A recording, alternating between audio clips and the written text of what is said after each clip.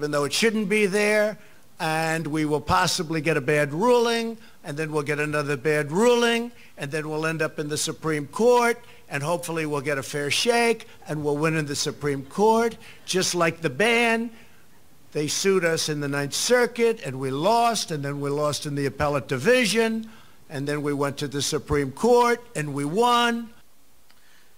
It was rather musical, wasn't it? The way he kept, uh, the, the, way he, he, he, kept going with that. Um, later on in that same speech, he was referring to his own brilliance in foreign policy and said, and they said Trump is crazy. We just heard some music in there, and specifically uh, Jack Morris did, one of our engineers, and put this together. Sued, circuit, ruling, ruling. Court, shake, court, ban. Circuit, lost, division, court, won. And we will then be sued, bad ruling, the ban, and we won.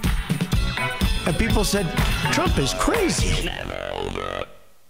The obvious question is what President Trump's trying to achieve here. Why does he why, why, did he speak like this at this moment? Is is there is there is there sort of a rhyme in his uh, rhyme in his reason here? Cara uh, Cara uh, Chaparis is an American accent coach. Um, that, that, kind of intonation he was using there. What what what's what's that all about? Um, it's very sing song. It's not typical. Um, so it's his own idiosyncratic way of communicating. It sounds more like when you're trying to remember something, so you put it to a tune, the way children might sing ABCs or something. Okay, and but the, you say it's not typical. It's not necessarily typical of him. He's using it here to sort of get him through the rhythm of the whole thing. But there is this things that, that, sort of a lot of our kids do here, where you where you, you, your your intonation goes up at the end of every sentence. I'm never quite sure is that an American or is that an Australian sort of origin?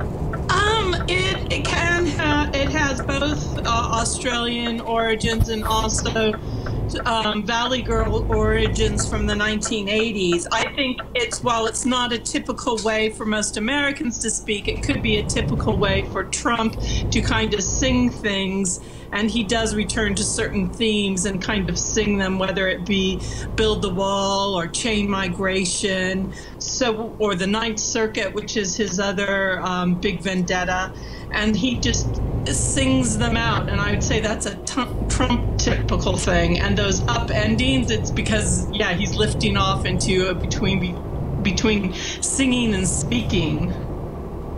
accent isn't as big of a signifier of class in the States as it is here, is it? Can you, what are the telltale signs of class? Of what, class you're from, what your socio-economic backgrounds are in the in American accents? Yeah, I mean, it, on the Northeast, like in New York and Boston, you will have working class accents more than you will have in the rest of the country just because they're older cities. And he does have a Queens, New York accent. Shake, band, uh, circuit, lost, division, court, won.